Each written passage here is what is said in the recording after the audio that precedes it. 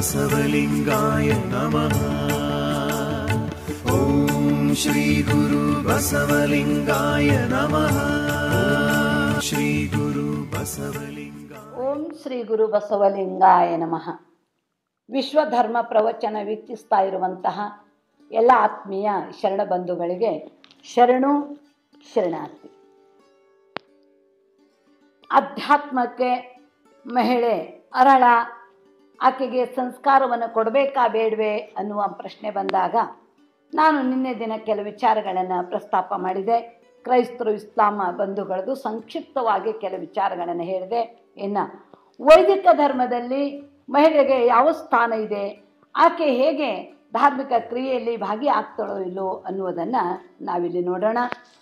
ಇಲ್ಲಿ ಮಹಿಳೆಗೆ ಶೂದ್ರ ವರ್ಗಕ್ಕೆ ಅಲ್ಲಿ ಸೇರಿಸಿದ್ದಾರೆ. ಹೆಣ್ಣು ಮಗಳು ಮಾಯೆ ಆಕೆಗೆ ಮುಕ್ತಿಗೆ ಅನರಳು ಆಧ್ಯಾತ್ಮಕ್ಕೆ ಆಕೆ ಬಾಧಕಳು ಅಧ್ಯಾತ್ಮ ಸಾಧನೆ ಮಾಡಲಿಕ್ಕೆ ಅನ್ನೋ ಮಾತನ್ನು ಹೇಳಿ, ಅದಕ್ಕೆ ಮನೋ ಒಂದು ವಿಶೇಷವಾದಂಥ ಶ್ಲೋಕವನ್ನು ಹೇಳಿದ. ಸಾಮಾನ್ಯವಾಗಿ ನಿಮಗೆಲ್ಲರಿಗೂ ಇದು ಗೊತ್ತಿದೆ. ಪಿತಾ ರಕ್ಷತಿ ಕೌಮಾರೆ, ಭರ್ತಾ ರಕ್ಷತಿ ಯೌವನೆ, ರಕ್ಷಂತಿ ಸ್ಥಾವಿರೆ, ಪುತ್ರನ ಶ್ರೀ ಸ್ವಾತಂತ್ರ್ಯ ಮರ್ಹತಿ ಅಂತ ಹೇಳಿ. ಇದನ್ನ ಒಂದು ತಾತ್ಪರ್ಯ, ಇದರ ಅರ್ಥ ಏನ್ರಿ ಅಂದರೆ ಪಿತಾ ರಕ್ಷತೆ ಕೌಮಾರೆ. ಅಂದರೆ ಆ ಹೆಣ್ಣು ಮಗಳು ಚಿಕ್ಕವಳಿದ್ದಾಗ ಧಾರ್ಮಿಕ ಕಾರ್ಯಗಳನ್ನೆಲ್ಲ ಅಪ್ಪ ಮಾಡ್ತಾ ಇದ್ದಾರೆ. ಆ ನಂತರ ಭರ್ತಾರಕ್ಷತಿ ಯೌವನೆ, ಆಕೆ ಯೌವನಕ್ಕೆ ಬಂದಾಗ ಮದುವೆ ಆಗಿರುತ್ತಲ್ಲ, ಆ ಸಂದರ್ಭದಲ್ಲಿ ಆ ಧಾರ್ಮಿಕ ಕಾರ್ಯಗಳನ್ನು, ಧಾರ್ಮಿಕ ಎಲ್ಲ ಕೆಲಸಗಳನ್ನು ಗಂಡ ಆಕೆನ ಪರವಾಗಿ ಅಲ್ಲೆಲ್ಲ ಮಾಡ್ತಾ ಇದ್ದಾರೆ. ಆ ನಂತರ ಚಂತಿ ಸ್ಥಾವಿರೆ ಪುತ್ರನ ಶ್ರೀ ಸ್ವಾತಂತ್ರ್ಯ ಮರ್ಹತಿ. ಅಂದ್ರೆ ಆಕೆಗೆ ವಯಸ್ಸಾದಂಥ ಸಂದರ್ಭದಲ್ಲಿ ಆಕೆ ಮಗ ಧಾರ್ಮಿಕ ಕಾರ್ಯವನ್ನು ಮಾಡ್ತಾರೆ ಅಂದರೆ ಆಕೆಗೆ, ಆಕೆ ಏನಂದ್ರೆ ಆ ಪೂಜೆ ಮಾಡಲಿಕ್ಕೆ, ಧಾರ್ಮಿಕ ಕಾರ್ಯಕ್ಕೆ ಅರಳಲ್ಲ ಅಂತ. ಆದರೆ ಅವಶ್ಯಕತೆ ಇಲ್ಲ ಅನ್ನೋದು ಬೇರೆ. ಆ ಶ್ರೀ ಸ್ವಾತಂತ್ರ್ಯ ಮರ್ಹತಿ ಅಂದರೆ ಆಕೆ ಯೋಗ್ಯಳಲ್ಲ ಅಂತಂದರೆ ಇವೆರಡಕ್ಕೂ ಭಾಳ ವ್ಯತ್ಯಾಸವಿದೆ. ಅಜಗಜಾಂತರ ವ್ಯತ್ಯಾಸವಿದೆ. ಆಕೆಗೆ ಅವಶ್ಯಕತೆ ಇಲ್ಲ ಅಂದರೆ ಏನು ಅಂದರೆ, ನಾನು ನಿಮಗೊಂದು ಉದಾಹರಣೆ ಹೇಳಲಿಕ್ಕೆ ಇಷ್ಟಪಡ್ತಾ ಇದ್ದೀನಿ. ಈಗಿಲ್ಲಿ ನನ್ನ ಹತ್ರ ಒಂದು ಸೀರೆ ಇದೆ. ಹದಿನೈದು ಇಪ್ಪತ್ತು ಸಾವಿರ ರೂಪಾಯಿ ಸೀರೆ ಇದೆ ಅಂತ ತಿಳ್ಕೊರು ಒಳ್ಳೆ ರೇಷ್ಮೆ ಸೀರೆ, ತುಂಬ ಚೆನ್ನಾಗಿದೆ. ಇದ್ದಾಗ ನಾನು ಒಬ್ಬರದ್ದು ಯಾರಾದರೂ ಒಬ್ಬರ ಹೆಸರು ತಗೊಂಡು ಇಲ್ಲಿ ಹೇಳ್ತಾ ಇದ್ದೀನಿ. ಏನು? ಉದಾಹರಣೆಗಾಗಿ ಜಯಶ್ರೀ. ಜಯಶ್ರೀ ಅನ್ನುವಂಥ ಹೆಣ್ಣು ಮಗಳು ಅಲ್ಲಿ ಕೂತಿದ್ದಾಳ ತಾಯಿ. ಆವಾಗ ಜಯಶ್ರೀಗೆ ಈ ಸೀರೆ ಅವಶ್ಯಕತೆ ಇಲ್ಲ ಅಂತ ಹೇಳ್ತೀನಿ. ಅದರ ಅರ್ಥ ಅವರು ತಂದೆ ಸಾಕಷ್ಟು ಸೀರೆ ಕೊಟ್ಟಿದ್ದಾರೆ, ಅವ್ರ ಯಜಮಾನರು ತರಿಸ್ಕೊಟ್ಟಾರೆ, ಅವ್ರ ಅಣ್ಣ ತಮ್ಮಂದರೆಲ್ಲ ತರಿಸ್ಕೊಟ್ಟಾರೆ. ಇದಕ್ಕಿಂತ ದೊಡ್ಡ ದೊಡ್ಡ ಬೆಲೆ ಬಾಳುವಂಥ ಸೀರೆ ಇರೋದರಿಂದ ಆಕೆಗೆ ಅವಶ್ಯಕತೆ ಇಲ್ಲ ಅಂದಾಗ ಜಯಶ್ರೀಗೆ ಆಕೆಗೆ ಗೌರವ. ಆಕೆಗೆ ನಾವು ಗೌರವ ಕೊಟ್ಟಂಗೆ, ಆಕೆಗೆ ಅವಶ್ಯಕತೆ ಇಲ್ಲ ಇದನ್ನ ಅಂತ. ಆದರೆ ಜಯಶ್ರೀ ಈ ಸೀರೆ ಉಡ್ಲಿಕ್ಕೆ ಯೋಗ್ಯಳಲ್ಲ ಅಂದರೆ ಅಲ್ಲಿ ಬಹಳ ತಪ್ಪಾಗತ್ತೆ. ಯಾಕೆ ಅಂದರೆ ಈ ಸೀರೆ ಉಡ್ಲಿಕ್ಕೆ ಯೋಗ್ಯಳಲ್ಲ ಅಂದ್ರೆ ಏನಾಗತ್ತೆ? ಆಕೆಗೆ ಅಪಮಾನ ಮಾಡಿದಂಗಾಗತ್ತೆ. ಹೌದು ಇಲ್ಲೋ ವಿಚಾರ ಮಾಡ್ರಿ. ಅದಾಗ ಅವಶ್ಯಕತೆ ಇಲ್ಲ ಅನ್ನೋದಕ್ಕೂ ಮತ್ತೆ ಯೋಗ್ಯಳಲ್ಲ ಅನ್ನೋದಕ್ಕೂ ಬಹಳ ವ್ಯತ್ಯಾಸವಿದೆ. ಹಾಗೆ ಅವರು ಏನಂದರೆ ಚಿಕ್ಕ ವಯಸ್ಸಿನಲ್ಲಿ ತಂದೆ ಮಾಡ್ತಾರೆ, ಆಮೇಲೆ ವಯಸ್ಸಿಗೆ ಬಂದಾಗ ಗಂಡ ಮಾಡ್ತಾನೆ ಮುಳು ವಯಸ್ಸಾದಾಗ ಏನಂದರೆ ಮಗ ಮಾಡ್ತಾನೆ, ಮಾಡ್ಕೊಳ್ಳಿ ಅಂತ ಅನ್ಬೋದು ಆಕೆಗೆ ಅವಶ್ಯಕತೆನೇ ಇಲ್ಲ, ಅವರೆಲ್ಲರೂ ಮಾಡ್ತಾರೆ ಅಂದರೆ. ಆದರೆ ಯೋಗ್ಯಳಲ್ಲ ಅಂದರೆ ಯಾಕೆ ಯೋಗ್ಯಳಲ್ಲ? ಯೋಗ್ಯಳಲ್ಲ ಅಂದ ತಕ್ಷಣ ಪ್ರಶ್ನೆ ಬರ್ತದೆ, ಯಾಕೆ ಯೋಗ್ಯಳಲ್ಲ ಅಂದರೆ, ಇದಕ್ಕೆ ಮೂರು ಕಾರಣವನ್ನು ಕೊಡ್ತಾ ಇದ್ದ. ಮೂರು ಕಾರಣ ಏನಂದರೆ, ತಾ ಪ್ರಾಕೃತಿಕವಾಗಿ, ಶಾರೀರಿಕವಾಗಿ, ಮಾನಸಿಕವಾಗಿ. ಏನು? ಪ್ರಾಕೃತಿಕವಾಗಿ ಆಕೆ ರಜೋಕ್ರಿಯೆಗೆ ಒಳಗಾಗ್ತಾಳೆ. ರಜೋಕ್ರಿಯೆಗೆ ಒಳಗಾಗಿರುವುದರಿಂದ ಮತ್ತು ತಿಂಗಳಿಗೆ ಮೈ ನಾಲ್ಕೈದು ಮೂರು ನಾಲ್ಕು ನಾಲ್ಕೈದು ದಿನ ಆಕೆ ಶುದ್ಧಳಾಗಿರ್ತಾಳೆ ಆಕೆಗೆ ಪೂಜೆ ಮಾಡಲಿಕ್ಕೆ ಇಲ್ಲಿ ನಾವು ಅವಕಾಶವನ್ನು ಮಾಡಿಕೊಡೋದಿಲ್ಲ. ಅಂದಾಗ ಏನು ಹೇಳ್ತಾ ಇದ್ದಾರೆ? ಹೊಲೆಗಂಡಲ್ಲದೆ ಪಿಂಡದ ನೆಲೆಗೆ ಆಶ್ರಯವಿಲ್ಲ. ಹೊಲೆಗಂಡಿದ್ದಾಗ ಮಾತ್ರ ಅಲ್ಲಿ ಪಿಂಡಕ್ಕೆ ಆಶ್ರಯ ಉಂಟು. ಆ ಮುಟ್ಟು ತೊಡಿದಾಗ, ಒಂಬತ್ತು ತಿಂಗಳು ತೊಳೆದಾಗ ಮಗ ಹುಟ್ಟಿ ಬರ್ತಾನೆ ಎನ್ನುವ ಮಾತನ್ನಲ್ಲಿ ಹೇಳ್ತಾರೆ. ಮುಂದೆ ಕ್ರಾಂತಿ ಕವಿ ಹೇಳ್ತಾರೆ, ಸರ್ವಜ್ಞಾನ ನಂತರ ಹೇಳ್ತೀನಿ. ಇಲ್ಲಿ ಏನು ಹೇಳ್ತಾ ಇದ್ದಾರೆ? ಹೊಲೆಗಂಡಲ್ಲದೆ ಪಿಂಡದ ನೆಲೆಗೆ ಆಶ್ರಯವಿಲ್ಲ. ಎಲ್ಲರೂ ಹುಟ್ಟುವುದು ಹೊಲಿಯಲ್ಲೇ ವಿನಃ ತಲೆಯಲ್ಲಲ್ಲ. ಪ್ರಾಕೃತಿಕವಾಗಿ ಆ ಒಂದು ಕ್ರಿಯೆ ಇಲ್ಲದೆ ಇದ್ದರೆ ರಜೋಕ್ರಿಯೆಗೆ ಒಳಗಾಗದೆ ಇದ್ದಿದ್ರೆ ಪ್ರಜೋತ್ಪತ್ತಿನೇ ಆಗ್ತಿದ್ದಿಲ್ಲ. ಇದು ದೇವರ ಕೊಟ್ಟಂತ ಒಂದು ಅದ್ಭುತವಾದಂಥ ಶಕ್ತಿನೇ ವಿನ ಅದನ್ನು ಬಿಟ್ಟು ಆಕೆ ಪ್ರ, ಏನಂದರೆ ರಜೋಕ್ರಿಯೆಗೆ ಒಳಗಾಗೋದ್ರಿಂದ ಆಕೆಗೆ ನಾವು ಧಾರ್ಮಿಕ ಸಂಸ್ಕಾರವನ್ನ ಕೊಡಲ್ಲ ಅಂತ ತಿಳ್ಕೊಂಡು ಹೇಳ್ತಾರೆ. ಯಾಕೆಂದ್ರೆ ಕಿ, ಅಪವಿತ್ರಳಾಗಿದ್ದಾಳೆ. ಅಪವಿತ್ರತೆ ಬೇರೆ ಕೊಳೆ ಬೇರೆ. ಇದನ್ನೆಲ್ಲರೂ ಚೆನ್ನಾಗಿ ತಿಳ್ಕೊಬೇಕು. ಅಪವಿತ್ರತೆ ಬೇರೆ, ಕೊಳೆ ಬೇರೆ. ಈಗ ಸಗಣಿ ಮುಟ್ಟಿದಾಗ ರೈತ ಕೆಸರು ಮಾಡ್ಕೊಳ್ತಾನೆ ಕೈಲಿ. ಸಗಣಿ ಎಲ್ಲ ಆಗಿರುತ್ತೆ, ಆವಾಗ ಮೈಯೆಲ್ಲ ಕೆಸರಾಗಿರುತ್ತೆ, ಸಗಣಿ ಆಗಿರುತ್ತೆ. ಹೋಗಿ ರೈತನು ಸ್ನಾನ ಮಾಡಿಕೊಂಡು ಅವನು ಪೂಜಾ ಮಾಡಿದರೆ ಪರಮಾತ್ಮ ಪೂಜಾ ಸ್ವೀಕಾರ ಮಾಡ್ತಾ ಇದ್ದಾನೆ. ಯಾಕೆಂದರೆ ಅವನ ಕೈ ಕೊಳೆಯಾಗಿದೆ.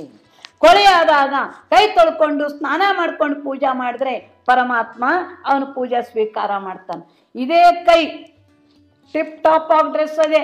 ಏನು ಕೈ ಸ್ವಚ್ಛವಾಗಿದ್ದಾವೆ? ಆದರೆ ಕೆಟ್ಟ ದೃಷ್ಟಿಯಿಂದ ಪರಸ್ತ್ರೀಯ, ಸ್ತ್ರೀಯನ್ನ ಮುಟ್ಟಿದಾಗ ಈ ಕೈ ಕೊಳೆಯಾಗಿಲ್ಲ ಇದು ಅಪವಿತ್ರವಾಗಿದೆ. ಈ ಅಪವಿತ್ರ ಕೈಯಿಂದ ಪರಮಾತ್ಮನ ಪೂಜೆ ಸ್ವೀಕಾರ ಮಾಡಲಿಕ್ಕೆ ಸಾಧ್ಯವಿಲ್ಲ. ಹಾಗೆ ಕೊಳೆ ಬೇರೆ, ಅಪವಿತ್ರತೆ ಬೇರೆ. ಅಪವಿತ್ರ ಏನಂದ್ರೆ ರಜೋಕ್ರಿಯೆಗೆ ಒಳಗಾಗೋದು ಅಪವಿತ್ರ ಅಂತಂದ್ರೆ ಸ್ತ್ರೀಗೆ ಒಂದು ದೊಡ್ಡ ಅಪಮಾನಕರ ಮಾತೇ ಸರಿ. ಅದಕ್ಕಾಗಿ ಹೇಳ್ತಾ ಇದ್ದಾರೆ, ಆಕೆ ಕೊಳೆಯಾಗಿದ್ದಾಳೆ. ಆದ ನಂತರ ತಕ್ಷಣವೇ ತಲೆಯಿಂದ ಅಭ್ಯಂಗನ ಸ್ನಾನವನ್ನ ಮಾಡಿ, ಆ ನಂತರ ಒಗ್ದಿದ ಬಟ್ಟೆ ಹಾಕೊಂಡು ಆಕೆ ಪೂಜೆಯನ್ನ ಮಾಡಿ, ತೀರ್ಥ ಪ್ರಸಾದವನ್ನ ತೆಗೆದುಕೊಂಡ್ಬಿಟ್ಲು ಅಂದ್ರಾಯ್ತು, ಆಕೆಗೆ ಮುಟ್ಟು ಮೈಲಿಗೆ ಇಲ್ಲ. ಹನ್ನೆರಡನೇ ಶತಮಾನದಲ್ಲಿ ಎಂಥ ಅದ್ಭುತವಾದಂಥ ಒಂದು ಕ್ರಾಂತಿಯನ್ನೇ ಮಾಡಿದರು. ದೀಕ್ಷಾ ತೆಗೆದುಕೊಂಡಂಥ ಮಹಿಳೆ, ದೇ ಅನುಗ್ರಹ ಪಡೆದುಕೊಂಡಂಥ ಮಹಿಳೆ, ಆಕೆ ಆದ ತಕ್ಷಣ ತಲೆಯಿಂದ ಸ್ನಾನ ಮಾಡಿಕೊಂಡು, ಒಗ್ದಿದ ಬಟ್ಟೆ ಹಾಕ್ಕೊಂಡು ಪೂಜಾ ಮಾಡಿ ತೀರ್ಥ ಪ್ರಸಾದ ತಗೊಂಡ್ಬಿಟ್ರೆ ಎಲ್ಲವೂ ಎಲ್ಲ ಹೋಯ್ತು ಅದಕ್ಕೆ ಹೇಳ್ತಾ ಇದ್ದಾರೆ, ಪಂಚಸೂತಕಗಳಿಲ್ಲ. ರಜಸೂತಕ, ಆಮೇಲೆ ಜನನ ಸೂತಕ ಮರಣ ಸೂತಕ ಉಚ್ಚಿಷ್ಟ ಸೂತಕ, ಜಾತಿ ಸೂತಕ, ಎಲ್ಲ ಪಂಚಸೂತಕಗಳು ಇವ್ರ ಶರಣರು ಅಲ್ಲಿ ಒಪ್ಪುವುದಿಲ್ಲ. ಮತ್ತೆ ಸಂದರ್ಭ ಬಂದಾಗ ಇದ್ರ ಬಗ್ಗೆ ನಾನು ಹೇಳ್ತಾ ಇದ್ದೀನಿ. ಹಾಗೆ ಆ ಸ್ತ್ರೀ ರಜೋಕ್ರಿಯೆಗೆ ಒಳಗಾದಾಗ ಆಕೆ ಅಭ್ಯಂಗನ ಸ್ನಾನವನ್ನು ಮಾಡಿಕೊಂಡು, ಆಮೇಲೆ ಪೂಜೆಯನ್ನು ಮಾಡಿ ತೀರ್ಥ ಪ್ರಸಾದ ತೆಗೆದುಕೊಂಡು ಬಿಟ್ರಾಯ್ತು ಆವಾಗ ಆಕೆ ಪವಿತ್ರ, ಆಕೆ ಆಕೆಗೆ ಏನಂದ್ರೆ ಅಪವಿತ್ರಳಲ್ಲ. ಆಕೆಗೆ ಏನಂದ್ರೆ ಆಗಿದೆ. ಸ್ನಾನ ಮಾಡಿಕೊಂಡು ಪೂಜಾ ಮಾಡ್ಬೋದು. ಪರಮಾತ್ಮ ಪೂಜೆ ಸ್ವೀಕಾರ ಮಾಡ್ತಾನೆ. ಇದೇ ಕೈಯಿಂದ ಎಲ್ಲ ಚೆನ್ನಾಗೇ ಇದೆ, ಎಲ್ಲ ಶಿಸ್ತಾಗೇ ಇದ್ದಾರೆ. ಆದರೆ ಪರಪುರುಷರನ್ನ ಕೆಟ್ಟ ದೃಷ್ಟಿಯಿಂದ ಮುಟ್ಟಿದಾಗ ಈ ಕೈ ಅಪವಿತ್ರವಾಗಿದೆ. ಈ ಅಪವಿತ್ರ ಕೈಯಿಂದ ಪರಮಾತ್ಮ ಪೂಜೆ ಸ್ವೀಕಾರ ಮಾಡಿಕೊಳ್ಳಿಕ್ಕೆ ಸಾಧ್ಯವಿಲ್ಲ. ಅಪವಿತ್ರತೆ ಬೇರೆ, ಕೊಳೆ ಬೇರೆ. ಪ್ರತಿ ಒಬ್ಬ ವ್ಯಕ್ತಿನೂ ಈ ಥರ ಸಂಕಲ್ಪ ಮಾಡ್ಕೋಬೇಕಲ್ಲ. ಒಬ್ಬ ಗೃಹಸ್ಥನಾದಂಥ ಒಬ್ಬ ವ್ಯಕ್ತಿ ತನ್ನ ಹೆಂಡತಿಯನ್ನು ಬಿಟ್ಟು ಉಳಿದೆಲ್ಲ ಹೆಣ್ಣು ಮಕ್ಕಳು ತಾಯಿ ಸಮಾನ, ಆಮೇಲೆ ಅಕ್ಕ ತಂಗಿಯರು ಸಮಾನ, ನನ್ನ ಮಕ್ಕಳು ಸಮಾನ ಅಂತ ತಿಳ್ಕೊಬೇಕು. ಒಬ್ಬ ಗೃಹಿಣಿಯಾದವಳು. ತನ್ನ ಗಂಡನನ್ನೊಬ್ಬನ ಬಿಟ್ಟು ಉಳಿದವರೆಲ್ಲರೂ ನನ್ನ ತಂದೆ ಸಮಾನ, ನನ್ನ ಅಣ್ಣ ತಮ್ಮಂದಿರು ಸಮಾನ, ನನ್ನ ಮಕ್ಕಳು ಸಮಾನ ಅಂತ ತಿಳ್ಕೋಬೇಕು. ಅದೇ ಒಬ್ಬ ಸನ್ಯಾಸಿ ಆದವರು ಗಂಡ ಮಕ್ಕಳು, ಇಡೀ ಜಗತ್ತಲ್ಲಿರುವಂಥ ಎಲ್ಲ ಹೆಣ್ಣು ಮಕ್ಕಳು ನನ್ನ ತಾಯಿ ಸಮಾನ, ನನ್ನ ಮಕ್ಕಳ ಸಮಾನ, ಅಕ್ಕ ತಂಗಿಯರ ಸಮಾನ ಅಂತ ತಿಳ್ಕೋಬೇಕು. ಒಬ್ಬ ಸ್ತ್ರೀ ಸನ್ಯಾಸಿಯಾದವಳು, ಆಕೆ ಕೂಡ ಇಡೀ ಪುರುಷ ವರ್ಗವೆಲ್ಲವೂ ನನ್ನ ತಂದೆ ಸಮಾನ, ಅಣ್ಣ ತಮ್ಮಂದಿರ ಸಮಾನ, ನನ್ನ ಮಕ್ಕಳ ಸಮಾನ ಅಂತ ತಿಳ್ಕೊಳ್ಬೇಕು ಅನ್ನುವ ಮಾತನ್ನ ಹೇಳ್ತಾ ಇದ್ದಾರೆ. ಎಲ್ಲರೂ ನನ್ನ ಮಕ್ಕಳು, ಎಲ್ಲರೂ ನನ್ನ ಏನಂದ್ರೆ ಅಣ್ಣ ತಮ್ಮಂದಿರನು ಅಂತ ಭಾವನೆ ಅಲ್ಲಿ ಬರಬೇಕು. ಅಂದಾಗ ಇಲ್ಲಿ ಕೊಳೆ ಬೇರೆ, ಅಪವಿತ್ರತೆ ಬೇರೆ. ಏನೆಲ್ಲ ಇತ್ತು ಟಿಪ್ ಟಾಪ್ ಆಗಿ ಡ್ರೆಸ್ ಮಾಡ್ಕೊಂಡ್ರು ಕೂಡ ಕೋಪಿ ಮಜ್ಜನ ಕೆರೆದರೆ ರಕ್ತದ ಧಾರೆ ಪಾಪಿ ಹೂವ ನೇರಿಸಲು ಮಚದ ವಿಧದ ಗಾಯ ಅಂತ ಹೇಳ್ತಾ ಇದ್ದ. ಕೋಪಿ ಮಜ್ಜನ ಕೆರೆದರೆ ರಕ್ತದ ಧಾರೆ ಕೋಪವನ್ನು ಒಳಗಿಟ್ಟುಕೊಂಡು ನೀನು ದೇವರಿಗೆ ಮಜ್ಜನೆ ಎರೆದಾಗ ಅದು ರಕ್ತದ ಧಾರೆ ಆಗತ್ತಂತೆ. ಪಾಪಿ ಮಾಡಬಾರದ ಕೆಲಸವನ್ನ ಮಾಡಿ, ಪಾಪ ಕಾರ್ಯವನ್ನ ಮಾಡಿ, ದೇವರಿಗೆ ಸಂಪಿಗೆ ಹೂವ, ಮಲ್ಲಿಗೆ ಹೂವ ಏರಿಸಿದ್ರ ಏನು ಪ್ರಯೋಜನ? ಮಶದಾವಿದದ ಗಾಯ. ಅದಕ್ಕಾಗಿ ಹೇಳ್ತಾರೆ, ತಾನು ಸತ್ಯ ಶುದ್ಧವಾದ ಕಾಯಕವನ್ನು ಮಾಡಿಕೊಂಡು, ಅವನು ಸ್ನಾನ ಮಾಡಿಕೊಂಡು ಪೂಜೆ ಮಾಡಿದ್ರೆ ಖಂಡಿತ ಪರಮಾತ್ಮನು ಆ ಪೂಜೆಯನ್ನು ಸ್ವೀಕಾರ ಮಾಡ್ತಾ ಇದ್ದಾನೆ. ಅದಕ್ಕೆ ನಮ್ಮ ಕ್ರಾಂತಿ ಕವಿ, ಆ ಸರ್ವಜ್ಞ ಕವಿಯರು ಎಷ್ಟು ಚೆನ್ನಾಗಿ ಹೇಳ್ತಾರೆ ಮುಂಡು ಮುಟ್ಟಾದ ಹೊಲೆಯೊಳಗೆ ಮುಟ್ಟುವದಿ, ಹುಟ್ಟುವದಿ ಜಗವೆಲ್ಲ. ಮುಟ್ಟಬೇಡೆಂದು ತಲುವನು ಹುಟ್ಟಿದನೆಲ್ಲಿ ಸರ್ವಜ್ಞ. ಮುಟ್ಟಾದ ಹೊಲೆಯೊಳಗೆ ಹುಟ್ಟುವದಿ ಜಗವೆಲ್ಲ. ಆ ಮುಟ್ಟು ಗಟ್ಟಿಗೊಂಡಾಗ ಮಾತ್ರ ಇವನು ಮುಂದೆ ಮಗು ಹುಟ್ಟಿ ಬರುತ್ತೆ. ಆಗ ಮುಟ್ಟಬೇಡಿ ಮುಟ್ಟಬೇಡಿ ಮುಟ್ಟಬೇಡಿ ಅಂತ ಹೇಳ್ತಾರಲ್ಲ, ಇವರು ಎಲ್ಲಿಂದ ಹುಟ್ಟಿದ್ರು? ಏನು ಭೂಮಿಯಿಂದ ಉದ್ಭವ ಆದ್ರೋ, ಏನು ಆಕಾಶದಿಂದ ಉದುರಿದ್ರು ಅಂತ.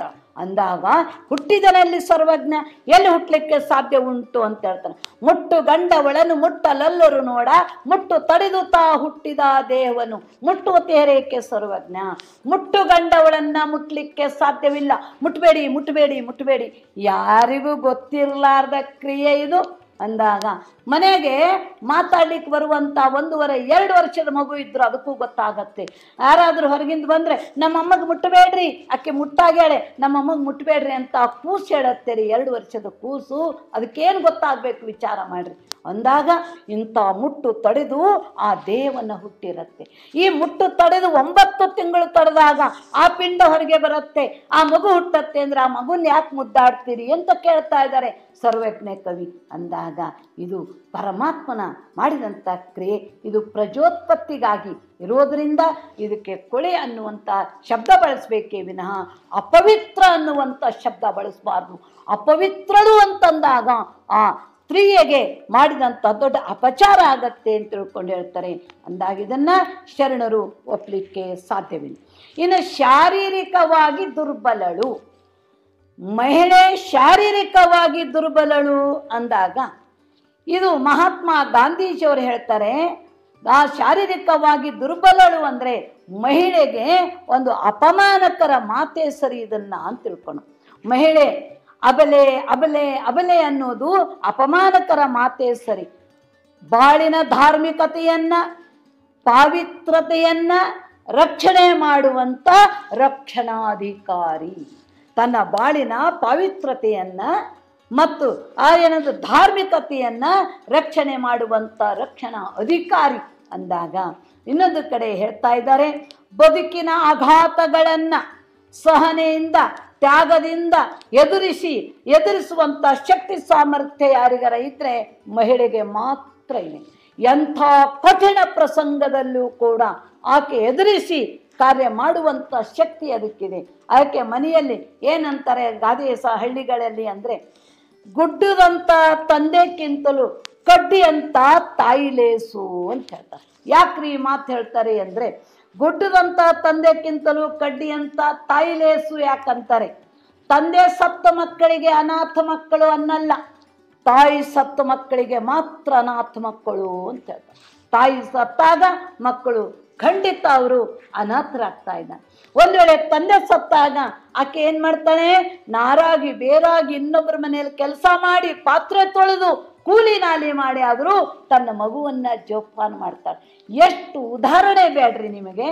ಸಾಕಷ್ಟು ಉದಾಹರಣೆ ನಾನು ನೋಡ್ತಾ, ಯಾರೋ ಒಬ್ಬರಿಬ್ಬರು ಆತ ಏನೋ ಕೆಲಸಕ್ಕೆ ಇಳಿದಾರೆ ಅಂದ್ರೆ ಅದು ಬೇಡ ನಮಗೆ. ಎಲ್ಲರೂ ನಮಗೆ ಸಾಮೂಹಿಕವಾಗಿ ನಾವು ವಿಚಾರ ಮಾಡಿದಾಗ, ಎಷ್ಟೋ ತಾಯಿಯಂದಿರು ತನ್ನ ಮಕ್ಕ, ಮಕ್ಕಳ ಮೇಲೆ ಜೀವ ಇಟ್ಟುಕೊಂಡು ಮಕ್ಕಳನ್ನು ಜೋಪಾನ ಮಾಡೋದನ್ನು ನೋಡ್ತಾ ಇದ್ದೀವಿ ಅದೇ ಗಂಡು ಮಕ್ಕಳು, ಹೆಂಡತಿ ಸತ್ತ ಮೇಲೆ ಯಾವ್ದಾರ ನೆಪ ಮಾಡಿಕೊಂಡು ಅಡುಗೆ ಮಾಡೋರಿಲ್ಲ ಮಕ್ಕಳು ನೋಡ್ಕೊಳ್ಳೋರಿಲ್ಲ ಅಂತ ಯಾವ್ದಾರ ನೆಪ ಮಾಡಿಕೊಂಡು ಮತ್ತೆ ಪುನಃ ಅವರು ಮದುವೆನಾಗ್ತಾ ಇದ್ದಾರೆ. ಮತ್ತು ಕಾಯ್ದೆ ಹೇಗೆ ಬರ್ದಾರ ಗೊತ್ತೇನ್ರಿ? ಅಲ್ಲಿ ತನ ಕಾಯ್ದೆ ಬರ್ದವರೆಲ್ಲ ಗಂಡು ಮಕ್ಕಳು ತಮಗೆ ಹೆಂಗೆ ಹೆಂಗೆ ಬೇಕೋ ಆ ಥರ ತಮ್ಮ ಅನುಕೂಲ ಆದಂತೆ ಕಾಯ್ದೆ ಬರ್ಕೊಂಡು ಎಲ್ಲ ತಪ್ಪುಗಳನ್ನು ಹೆಣ್ಮಕ್ಳ ಮೇಲೆ ಹಾಕಿದ್ರು. ಹೆಂಡತಿ ಸತ್ತ ಮೇಲೆ ವರ್ಷ ಬರೋದು ಒಳಗಾಗಿ ಮದುವೆ ಆಗ್ಬೇಕಂತ್ರಿ ಮತ್ತೆ ವರ್ಷ ಬಲಗಾದ ಒಳಗಾಗಿ.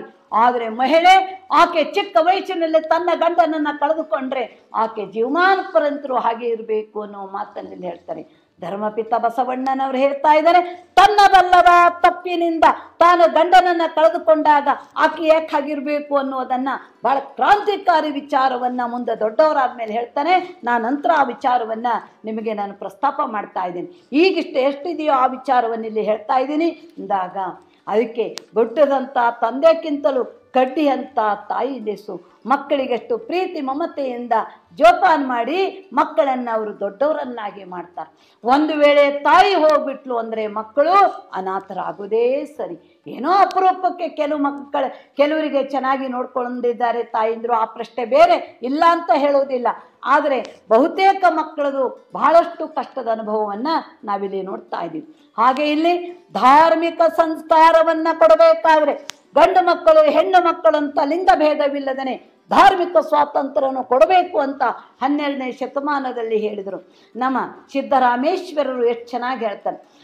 ಮಲೆಮುಡಿ ಬಂದರೆ ಹೆಣ್ಣೆಂಬರಯ್ಯ ಗಡ್ಡ ಮೀಸೆಗಳು ಬಂದರೆ ಗಂಡೆಂಬರು ನಡೆಯುವ ಸುಳಿಯುವ ಆತ್ಮ ಅದು ಹೆಣ್ಣು ಅಲ್ಲ, ಗಂಡು ಅಲ್ಲ ಕಾಣ ರಾಮನಾಥ. ಈಗ ವಿಜ್ಞಾನಿಗಳು ಇಪ್ಪತ್ತೊಂದನೇ ಶತಮಾನದಲ್ಲಿ, ಇಪ್ಪತ್ತಿಪ್ಪತ್ತೊಂದನೇ ಶತಮಾನದಲ್ಲಿ ಹೇಳೋದು ದೊಡ್ಡ ಮಾತಲ್ಲ.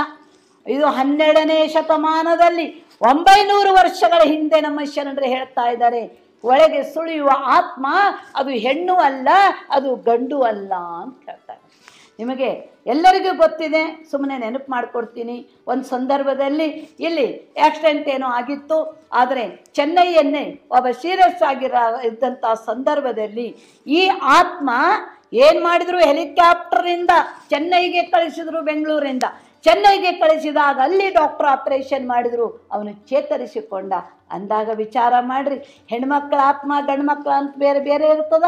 ಹೆಣ್ಣು ಮಕ್ಕಳದು ಗಂಡು ಮಕ್ಕಳಿಗೆ ನಾವು ಅಡ್ಜಸ್ಟ್ ಮಾಡ್ತಾರೆ ವಿಜ್ಞಾನಿಗಳೀಗ. ಅವರು ಗಂಡು ಮಕ್ಕಳದು ಹೆಣ್ಮಕ್ಳಿಗೆ ಅಡ್ಜಸ್ಟ್ ಮಾಡ್ತಾರೆ ಅಂದರೆ ಈ ಮಾತನ್ನು ಒಂಬತ್ತು ವರ್ಷ, ವರ್ಷಗಳ ಹಿಂದೆ ನಮ್ಮ ಶರಣರು ಹೇಳಿದರು.